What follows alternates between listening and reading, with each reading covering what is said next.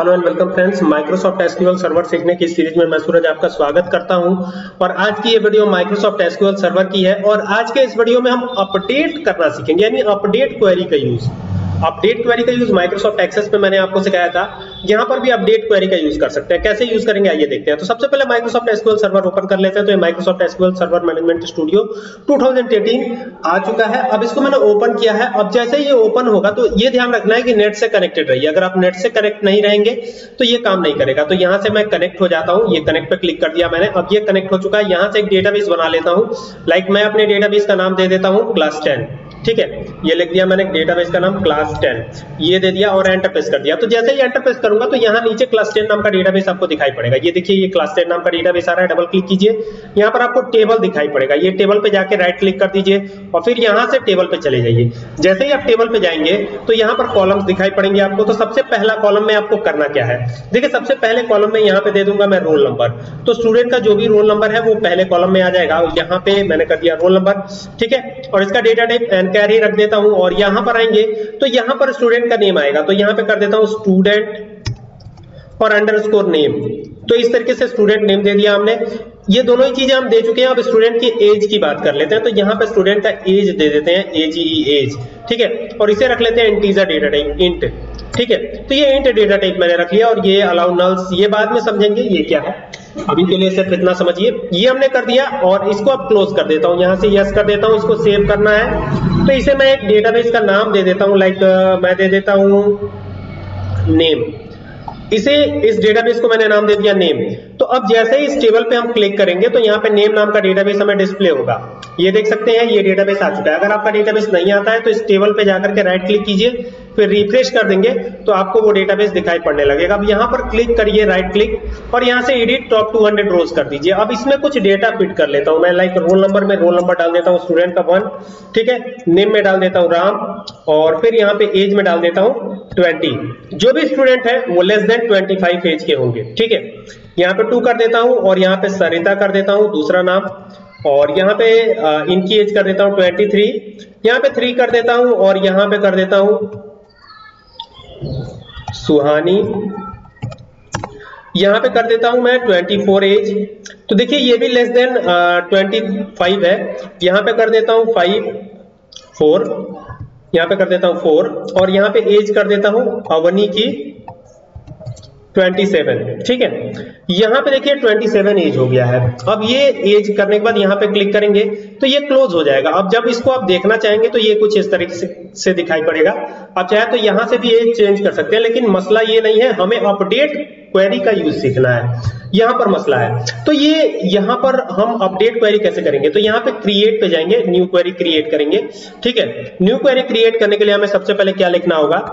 सबसे पहले तो हम सेलेक्ट करेंगे, जो टेबल बनाया हमने उसे सेलेक्ट करेंगे। तो यहाँ पे लिखेंगे सेलेक्ट सेलेक्ट कीवर्ड का यूज़ कीजिए, ये सेलेक्ट लिखा हमने इंटू का साइन लगाइए।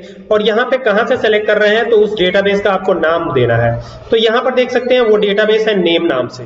तो यहाँ पर आपको सिर्फ़ नेम लिखना है N A M E name लिख देना है। ये नेम लिख दिया हमने, और इसे टर्मिनेट कर दिया। टर्मिनेट करने के बाद इसको सिलेक्शन में लेंगे। सिलेक्शन में लेने के बाद यहाँ से एक्सिक्यूट करवा देंगे इसको। जब एक्सिक्यूट करवाएँगे तो आप देख पाएँगे कि ये डेटाबेस शो हो रहा है, जो हम हमने रिकॉर्ड एंटर किए थे, वो वो रिकॉर्ड इसमें आ रहे हैं। ठीक है? प्रिंट होकर। अब हमको क्या करना है? एंटर प्रेस करना है और यहाँ पर अपडेट करना है रिकॉर्ड को, क्योंकि हमने क्या गलती की है? अवनी में एज होना चाहिए मैक्सिमम 25 लेकिन यहाँ पे हो गया है 27 ठीक है? तो अवनी के एज को अपडेट करना है। तो यहाँ पे अपडेट लिखना है और हम किसको अपडेट करना चाहते हैं तो वो एज को अपडेट करेंगे। तो ये एज लिख दिया हमने। एज लिखने के बाद क्या करना है? एंटर प्रेस कर दीजिए। नीचे आ जाइए। अब हम एज को ही सेट करेंगे। तो यहाँ सेट कीवर्ड का यूज़ करेंगे और यहाँ लिखेंगे एज क्या लिखना है? एज तो जैसा लिखा एज तो ये हमने एज लिख दिया। ठीक है? ये ध्यान दीजिएगा। यहाँ पर एज का ए कैपिटल होगा। अदरवाइज़ रिज़ल्ट नहीं आएगा। तो ये हो गया। तो यहाँ पर एज लिख दिया हमने। अब एज में क्या करना है? एज इज़ इक्वल टू हमें कर देना है यहाँ पे 23 ठीक है? अवनी का एज 23 होना चाहिए, जबकि हो कितना गया है? 27 ठीक है? अब यहाँ पे करता हूँ वेयर वेयर लिख दिया। अब यहाँ पे नेम क्या होगा? उस जो स्टूडेंट है, उसका नाम क्या होगा? तो यहाँ पे लिखता हूँ स्टूडेंट अंडरस्कोर नेम तो यहाँ पे नेम दे देना है। तो यहाँ पे देख सकते हैं कैपिटल में है तो यहाँ नेम कैपिटल में लिखेंगे N A M E N capital रहेगा, ये हो गया। इज़ इक्वल टू अब नाम क्या है? अवनी है तो सिंगल एटेड कोर्स में लिख दीजिए अवनी ये हो गया।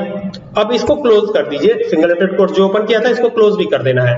अब एक बार इसको यहाँ से कंट्रोल F5 कर देंगे। तो ये देखिए, ये कमांड जो है सक्सेसफुली कंप्लीट हो चुका है। अब हम इसको एग्जीक्यूट करवाते हैं। तो जैसे ही हम एग्जीक्यूट करवाएँगे यहाँ पर ये देख सकते हैं, अवनी का एज यहाँ पे इनवैलिड ऑब्जेक्ट एज दे रहा है, देखते हैं स्टेट वन और टेबल का नाम हमने नेम दिया था तो यह है तो ये नेम दे दिया हमने, अब यहाँ से इसको एग्जीक्यूट करवाते हैं, और अब यहाँ से इसको एग्जीक्यूट करवाते हैं तो यहाँ पे देख सकते हैं, अभी अवनी का एज कितना दिखा रहा है 27 दिखा रहा है, लेकिन एक बार फिर इसको यहाँ से एग्जीक्यूट करवाते हैं, अब फिर यहाँ से एग्जीक्यूट करवाया तो अब देखिए, अवनी की एज हो गई है 23 अवनी की एज 23 हो चुकी है। आई होप की ये बात समझ में आ रही होगी। अब मान लीजिए किसी और भी स्टूडेंट का आपको एज अपडेट करना हो तो ऐसे ही आप अपडेट कर सकते हैं। इसमें कोई दिक्कत नहीं है। ठीक है? किसी का भी एज आपको अपडेट करना हो। ओके? तो आई होप कि ये वीडियो आपको समझ में आई होगी।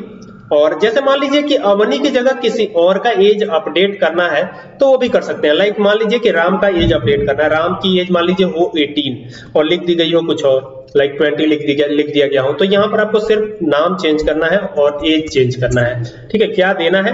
वो 18 दे दिया मैंने और यहाँ पर राम दे दिया ताकि यहाँ पे नाम भी आए। तो यहाँ पे इसको एक्सिक्यूट करवाता हूँ। रन अब देखिए, ये एक्सिक्यूट जैसे ही करवाया तो यहाँ पर राम की एज अभी कितना दिखा रहा है? ट्वेंटी दिखा रहा है, जबकि हमने किया था एटीन तो एक बार और इसको यहाँ से कंट्रोल F5 कर दीजिए और फिर यहाँ से एक्सिक्यूट करवाइएगा। तो अब देखिए, राम की एज जो है एटीन आ चुकी है। तो इस तरीके से आप अपडेट भी कर सकते हैं। आई होप की बात समझ में आई होगी। अपडेट क्वेरी का यूज़ अगर वीडियो पसंद आए तो शेयर करें। Thank you for watching this video